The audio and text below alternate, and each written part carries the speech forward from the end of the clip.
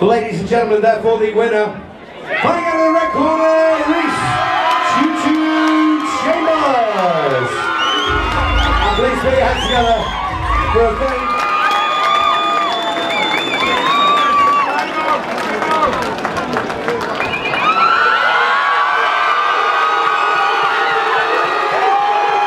Thank